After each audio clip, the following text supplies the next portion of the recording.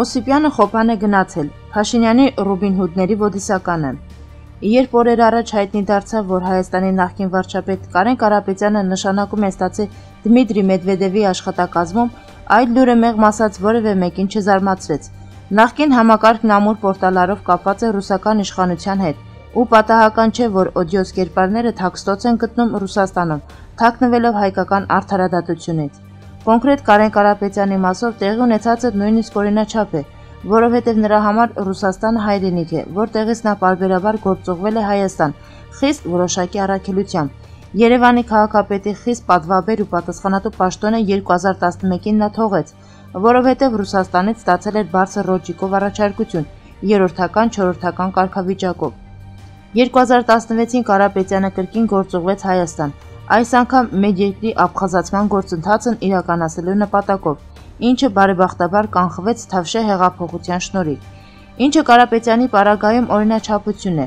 ապա արտարոց է հետ հեղափոխական առաջին իշխանության առածքային պաշտոնյաների դեպքում։ ԱԱԾ նախկին տնորեն Արտուր Վանեցյանը ըստ ԶԼՄ-ների իր քաղաքական բենեֆիսը նախապատրաստում է ռուսական կապիտալի ու կլիշների միջոցով։ Վանեցյանի ու Կադիրովի մտերմությունը հավաստող լուսանկարը լավագույնս բացահայտում է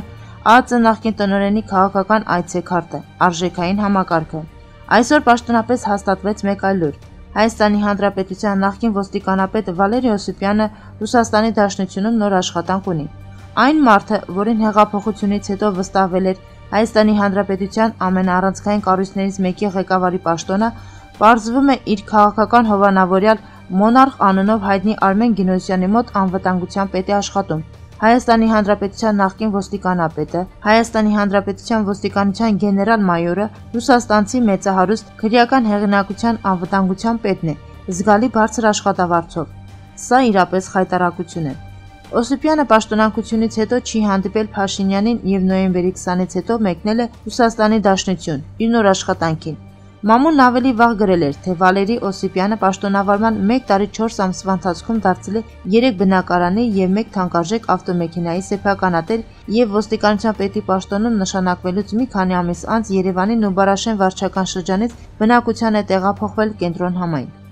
Ավելորդ է ասել, որ Օսիպյանի թրփոշացումը տեղի ունեցել նույն մոնարխի անմիջական մասնակցությամբ ու մնում է ենթադրել, թե դրա դիմաց նախին ոստիկանապետը ինչ ծառայություններ է մատուցել քրեականացված օլիգարխին։ Ստեղծված իրավիճակի հիմնական քաղաքական պատասխանատուն անշուշտ Նիկոլ Փաշինյանն է, որը հեղափոխության հաղթանակից հետո միջին կալիբր ունեցող գեներալներին հրճակեց որպես կոռուպցիայի դեմ պայքարի Ռոբին Հուդներ, նրանց օժտելով նախարարական կարգավիճակով ու գեներալական ուսադիրներով։